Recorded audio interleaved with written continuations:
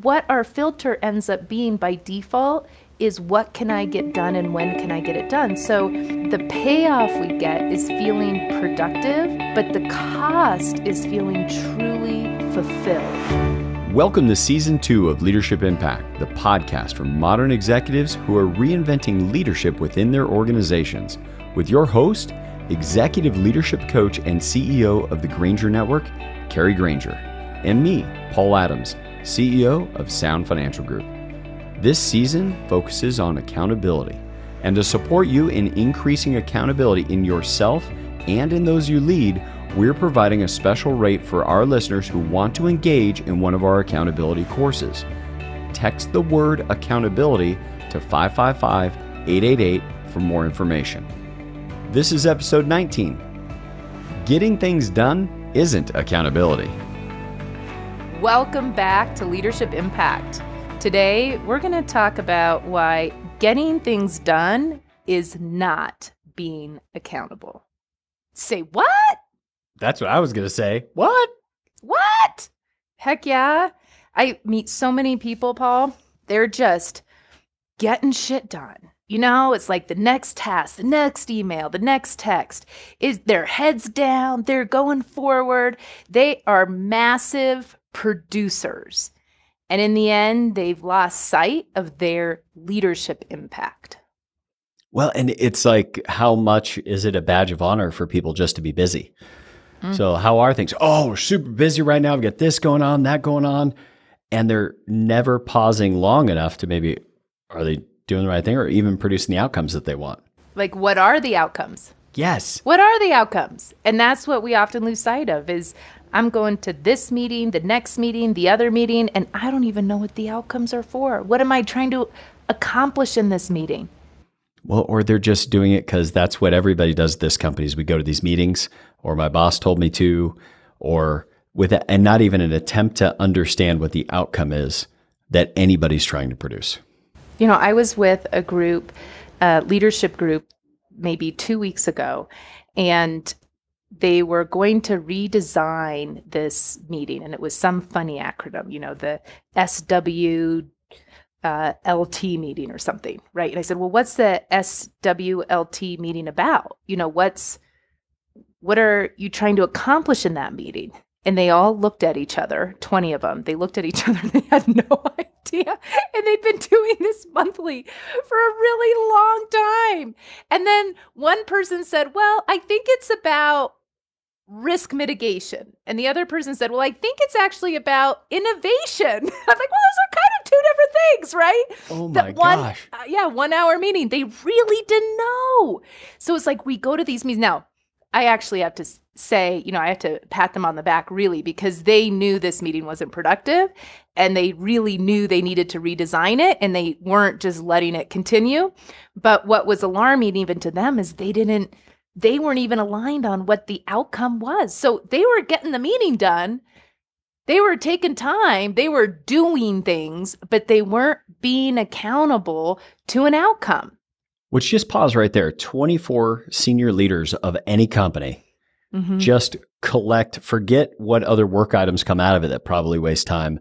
But a one hour meeting once a month like that is a significant impact to shareholder value. Hence why these companies engage the Granger network. Well, thank you for that little advertisement, Paul. Yeah. They, well, yes. w- without that critical question being asked, no one knows. And I, I'm even thinking about the regular meetings that we have just inside my company right now that I think our next quarterly session, what I'm going to do for fun is have everybody write down what they think each of our regularly scheduled meetings are. And then we have to go around and say what we all think the outcome is that we're after. Yeah, in fact, you know, after we had that conversation, and I got to tell you, these guys are actually quite amazing, right? Because who's willing to say that yeah. in front of all their peers? Like, who's willing to be that leader to say, I don't know? But, and they're saying, I don't know, a little bit vulnerability there. Everybody else said, Yeah, I don't know, right? And so, after, but after that conversation, one of the things that we all took on is writing out the outcomes of each of our regularly scheduled meetings. You know, mm. what is it for? And that's something that I've taken on as well is inside the Granger network, you know, starting a meeting with the outcome of the meeting. And I'm about 50% at this point you know, remembering to do that because I think if you do that, it orients people. Oh, yeah, that's what we're accomplishing today. We're not just doing agenda items, getting stuff done. We're actually trying to accomplish a future state here. There's a reason for this. It it has us get down the path of what we're trying to where we're trying to get to together as a team. That's so good. Calendar's another, Paul. What is your, you know, what does our typical calendar look like? It is literally a bunch of tasks. Meet with Kari, meet with Lindsay, mm-hmm. meeting with Joe, potential customer, mm-hmm. all day. right. And if you're really advanced, you might even have in there things you have to do, like finish the proposal for the investment group or accomplish our 2019 mid year review or do a performance evaluation. So you may even have, you know, non meeting, but just tasks you have to get done. Again, tasks, right? Without for the sake of what? Mm-hmm. And if you're not, at least most of us have this really long list of to dos. And how productive do we feel when we get those to dos done? We feel highly productive. In actuality, coin toss. Coin toss, exactly. Because, you know, for me, the ones that I don't do are the bigger ones. Mm-hmm.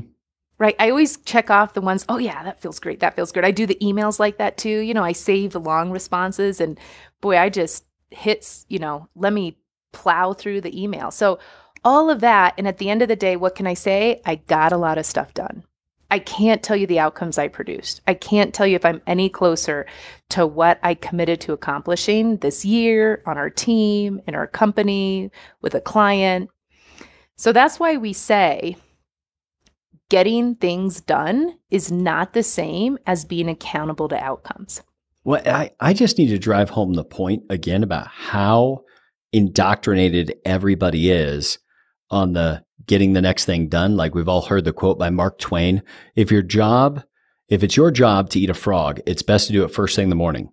And if your job is to eat two frogs, it's best to eat the biggest frog first. And it's like to to that point of do the hardest job first thing. Mm. Mm-hmm. But it's still do the hardest task 1st mm-hmm. It's still not an outcome oriented way to do it. You know, one of the courses that we lead, and it's actually one of the few public courses that we lead. So uh, this is a little bit of a, a a uh, ad here, but let me tell you why, right? So one of the courses we lead is um, a productivity and accomplishment course, and it's all about not just being productive but accomplishing.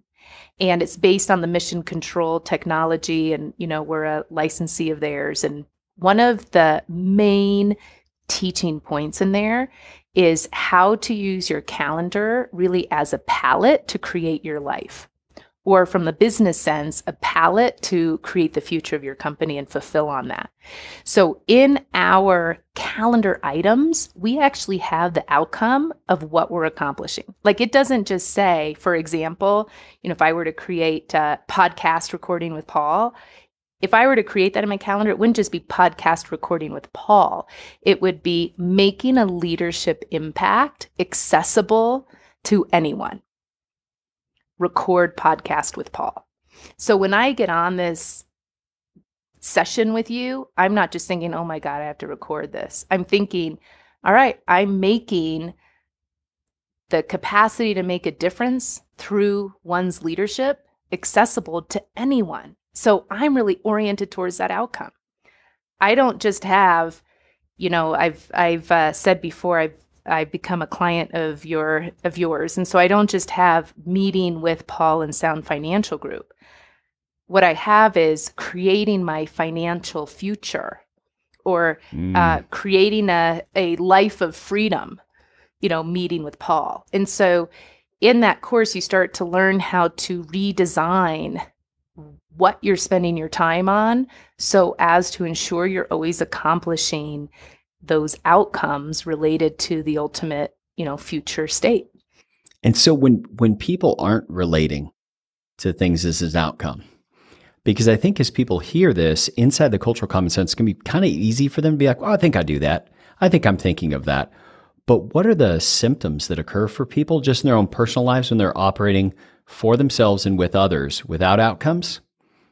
But they're just GSD, getting stuff done all day, knocking off things off their checklist all day, satisfying their boss's requests all day, but they're not doing it from outcomes.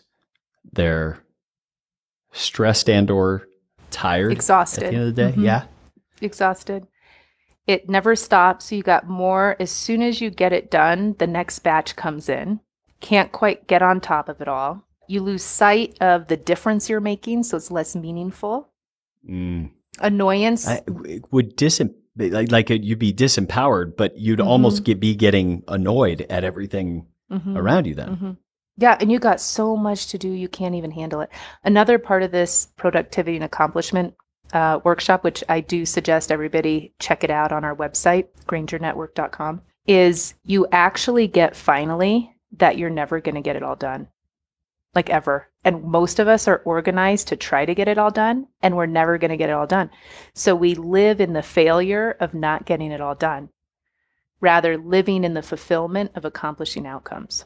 And we make poor choices because we think we we should be able to get to it get done. it all done because good people get it done and we're good people so we should get it done and, and when we, we don't, don't, get it done so then we're bad people and so are the other people who don't get the thing done that they said they would do. I mean oh my god your life reduced to tasks. What's that like? You know the very meaning of your life right is kind of absent when you're just doing tasks. How often in your work do you find that somebody has probably dealt with this repeatedly.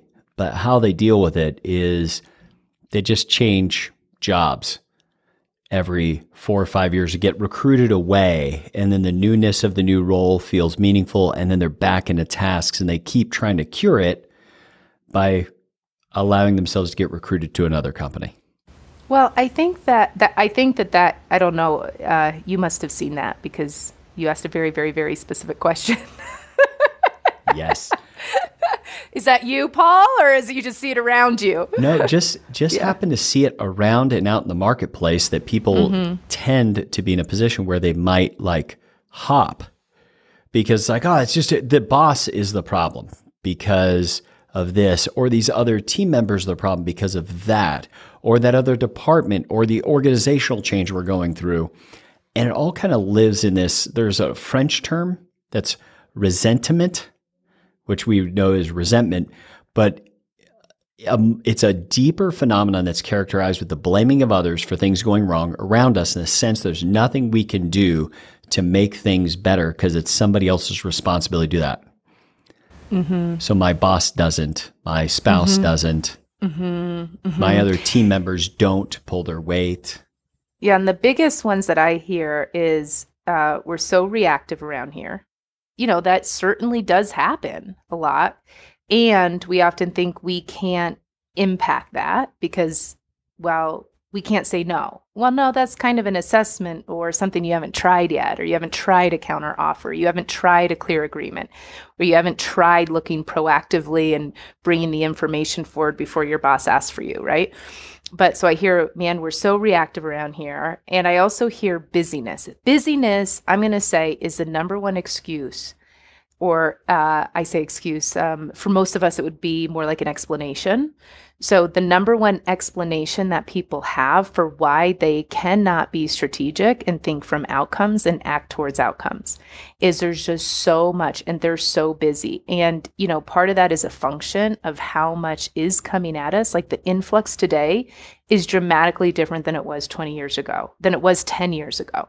It really is different. So, we do have to upgrade our our uh, strategies for dealing with what comes at us, which is why this conversation is so important today, because you literally cannot do everything coming at you. So how do you make decisions? You know, what's your criteria for what you pay attention to and what you don't? Has to be the outcomes that you're oriented around. And if you've lost sight of the outcomes, you're not making good decisions consistent with the future you want to achieve you know, and then you also have to have a way of dealing with all the things you're not going to do. And, uh, you know, that's where that whole accounting for your word comes in. right? Which we'll probably talk about on a future episode. With your outcomes, without having outcomes in place, you have no idea whether or not your current actions will produce the future that you're after. Yeah, it's so crazy. It's like tasks come at us like, I mean, they just come at us.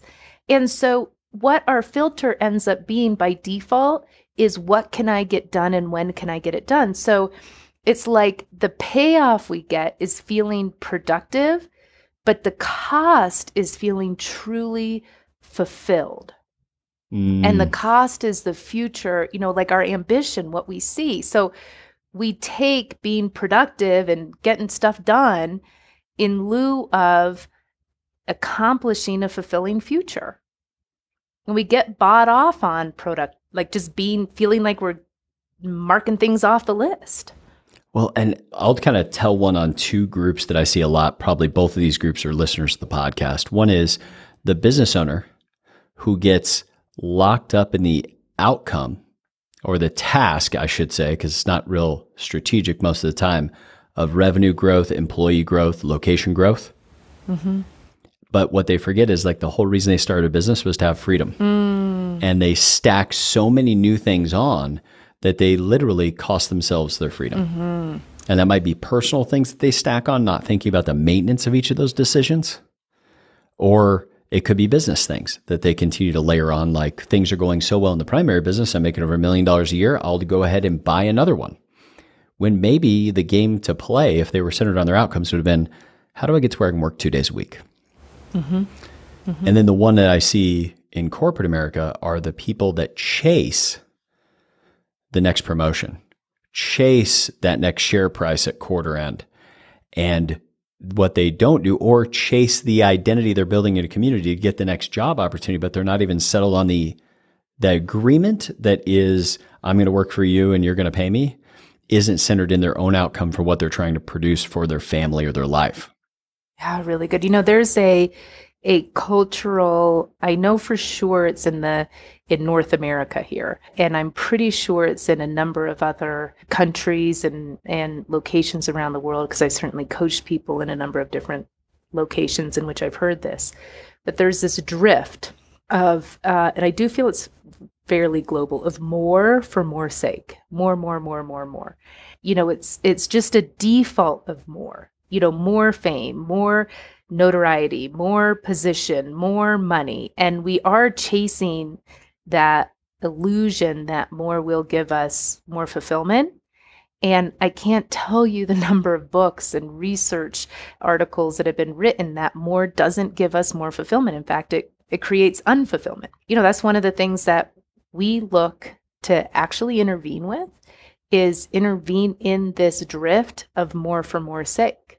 You know, what really is the outcome we're going after? And oftentimes I will ask business owners that you know, why are you growing? Well, because, you know, we're doing great, make more money. Why? You know, what's fundamentally important to you that has you want to grow? Which, by the way, growing doesn't, bigger doesn't always mean more profitable either, right?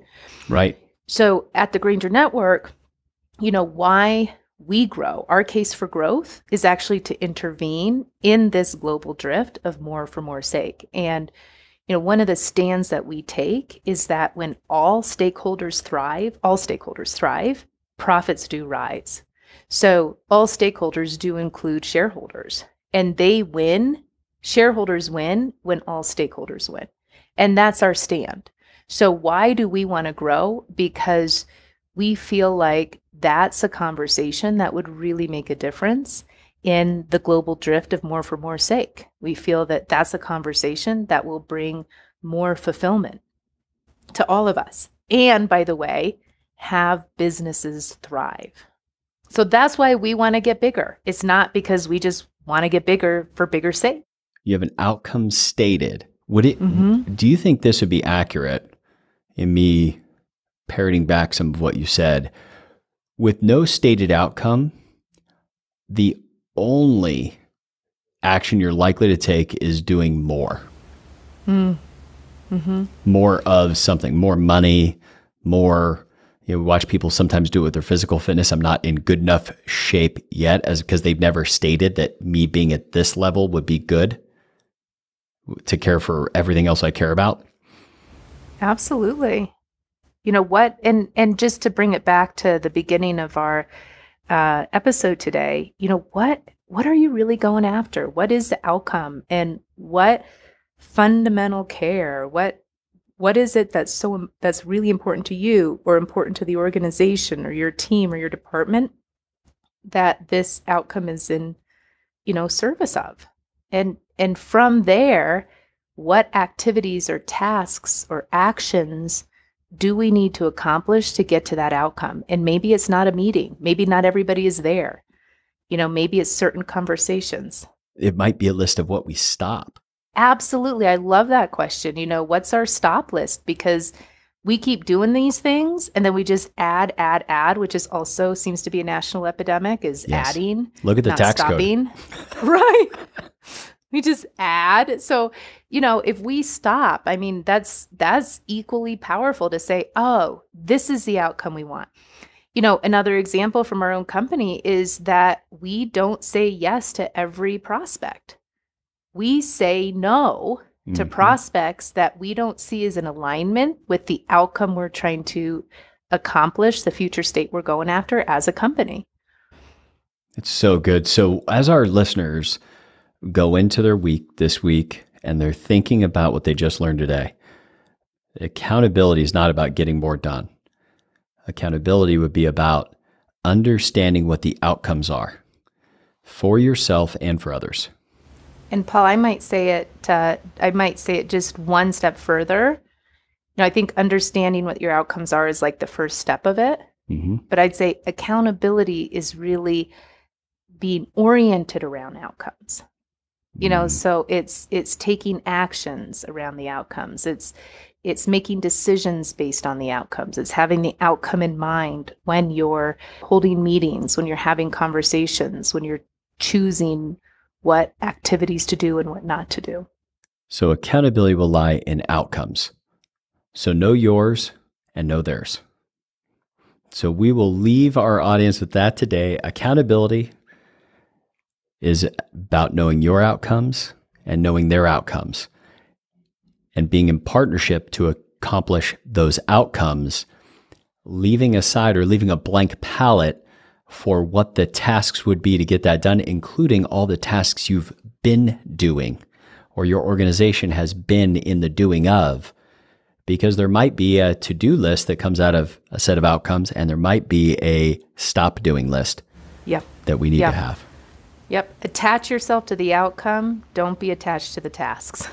Ooh, that was well, much better said. Attach yourself to the outcome. Don't attach yourself to the task so that every task can be revisited in flight.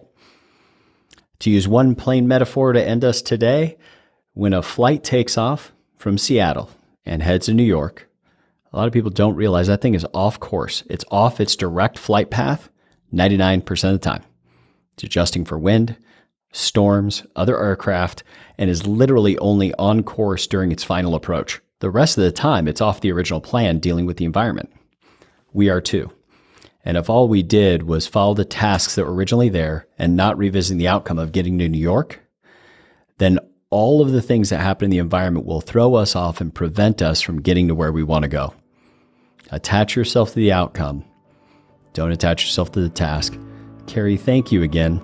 And to everybody listening, we're hoping that this has been a contribution to your leadership impact.